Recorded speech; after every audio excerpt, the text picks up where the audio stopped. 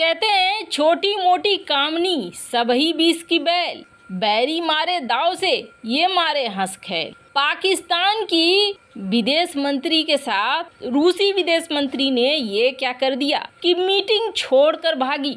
जहाँ एक तरफ़ ये सब कुछ चल रहा है तो वहीं दूसरी तरफ़ पुतिन अब और क्या करने वाले हैं? एक सौ सड़सठ युद्धपोत, बारह पनडुब्बियाँ, नवासी फाइटर जेट। अब रूस ने कहाँ पे हाहाकार शुरू कर दिया है? और जहाँ एक तरफ़ रूस ये सब कुछ कर रहा है तो वहीं भारत के साथ फ्री ट्रेड एग्रीमेंट का ऐलान करके अमेरिका के लिए मुश्किल क्यों खड़ी कर रहा है? जियो पॉलिटिक्स में बहुत कुछ चल रहा है। आइए जानते हैं इन खबरों को विस्तार से। हमने आपको कल ही बताया था, चीन को लगातार दूसरी बार पछाड़ कर अमेरिका, भारत का बना रहा टॉप का बिज़नेस पार्टनर। भारत और अमेरिका के बीच जो व्यापार हुआ, वो करीब एक बिलियन डॉलर का हुआ। और चाइना सेकंड पोजीशन पे पहुँच गया। यानी कहें तो भारत का ये प्लान पूरी तरीके से सफल होता हुआ दिख रहा है कि अमेरिका के साथ हमें अपना व्यापार को बढ़ाना है।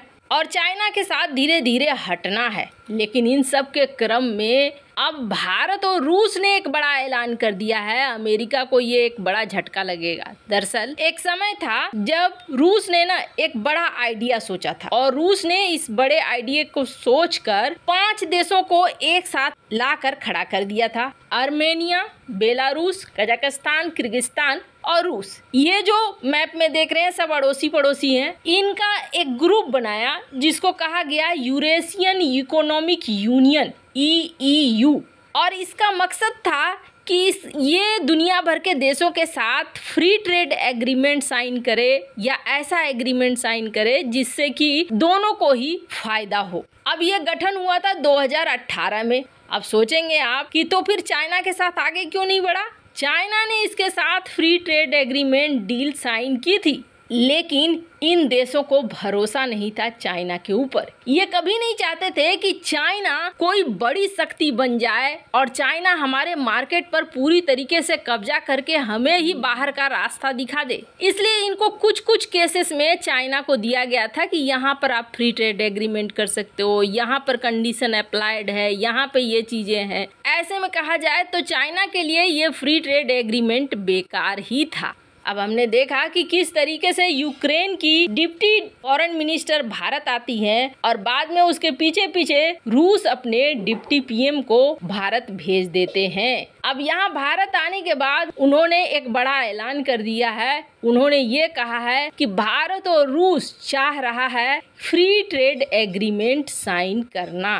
फ्री ट्रेड एग्रीमेंट साइन करने से क्या भारत को फ़ायदा होगा या नुकसान होगा? पहले तो ये खबर एक बार को अमेरिका को हड़काएगी। इसलिए अमेरिका को हड़काएगी क्योंकि अमेरिका भारत के साथ व्यापार करना चाहता है। लेकिन अमेरिका ने ये कहा है कि हम भारत के साथ कभी फ्री ट्रेड एग्रीमेंट साइन नहीं करेंगे। इससे हमें कोई फ़ायदा नहीं होने वाला है।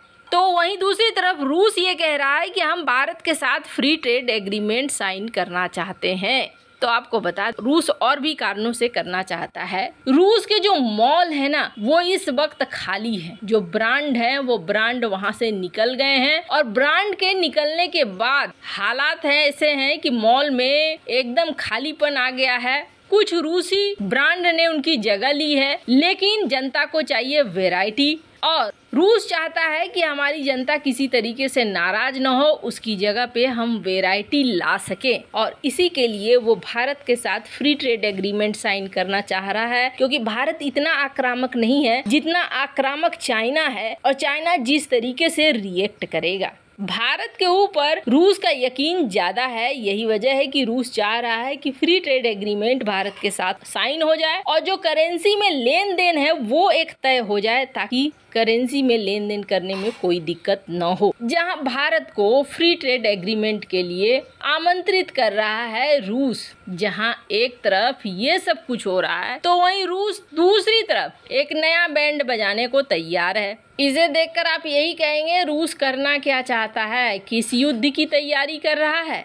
रूसी नौसेना सोमवार को बड़े पैमाने पर नौसैनिक युद्धाभ्यास के लिए उतरी हुई है। और इस युद्धाभ्यास में एक दो नहीं, बल्कि पूरी रूसी प्रशांत बेड़े को शामिल कर लिया गया है। यहाँ पर धनाधन मिसाइलें चल रही हैं, और न सिर्फ़ मिसाइलें, टॉर्पीडो, बल्कि और भी कुछ बड़ा चल रहा है। वैसे आपको बता दें, इस युद्धाभ्यास में जितनी संख्या इस्तेमाल की गई है ना, ये संख्या ही बता रही है कि कुछ बड़े की प्लानिंग है। एक सौ सड़सठ युद्ध पोत बारह पनडुब्बियाँ नवासी फाइटर जेट ये सब कुछ उतर गया है इस युद्धाभ्यास में। इसके अलावे बॉम्बर्स भी उतरे हैं। और बॉम्बर्स किस तरीके से दुश्मन के युद्ध पोतों पर बॉम्बिंग करेंगे, इसका युद्धाभ्यास किया गया है। तो वहीं, यहाँ पर देखने वालों में रूसी रक्षा मंत्री सोयू थे। इन्होंने फिर जानकारी भी दी है, पुतिन को, और पुतिन इस युद्धाभ्यास से बहुत ज़्यादा खुश नज़र आ रहे हैं।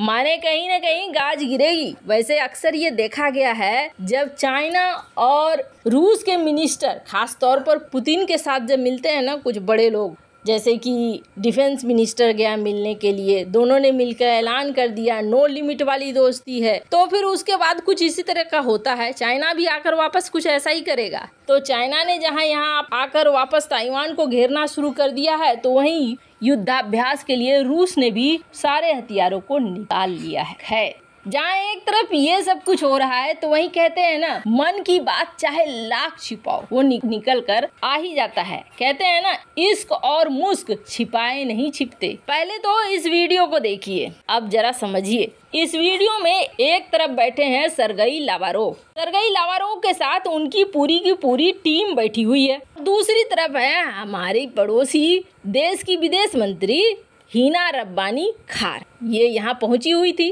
क्यों पहुँची हुई थी? तेरह अप्रैल को यहाँ पर समरकंद शिखर सम्मेलन का आयोजन किया गया था। शिखर सम्मेलन का आयोजन किया गया था, जिसमें चीन, ईरान, पाकिस्तान, रूस, तजिकिस्तान, तुर्कमेनिस्तान, उज्बेकिस्तान इसके विदेश मंत्रियों ने, बड़े अधिकारियों ने भाग लिया। हालाँकि पाकिस्तान का विदेश मंत्री बिलावल भुट्टो जरदारी यहाँ नहीं पहुँचा, लेकिन उसकी अनुपस्थिति में पाकिस्तान का प्रतिनिधित्व किया हीना रब्बानी खार अब जब ये यहाँ पहुँची तो रूस के साथ ये द्विपक्षीय वार्ता करना चाहती थी। वार्ता के लिए टेबल पर भी बैठी। रूसी विदेश मंत्री ने कहा, तुम्हारी बाकी टीम कहाँ गई? तुम अकेली हो? इन्होंने कहा कि हाँ भैया, हम तो रूस नहीं है, हमारी टीम छोटी है। बाद में आएगी। रूसी विदेश मंत्री ने हँसते हुए कहा, हम तो दोस्त हैं। दोस्त के लिए साइज़ मायने नहीं करता है। लेकिन फिर भी हीना रब्बानी खान मानी नहीं और अपना बोरिया बिस्तर समेटा और मीटिंग को अधूरा छोड़कर निकल गई। ये चीज़ क्या बता रही है? ये चीज़ ये बता रही है, तेल खरीदना चाह रहा है, रूस तेल दे रहा है, नहीं दे रहा है, कुछ तो यहाँ कुटिल ज़रूर चल रहा है, जो पाकिस्तान को बड़ा अपमानित करने वाला लग रहा है। वैसे इन सब मामले में आपकी क्या राय है? कमेंट कर ज़रूर बताएँ।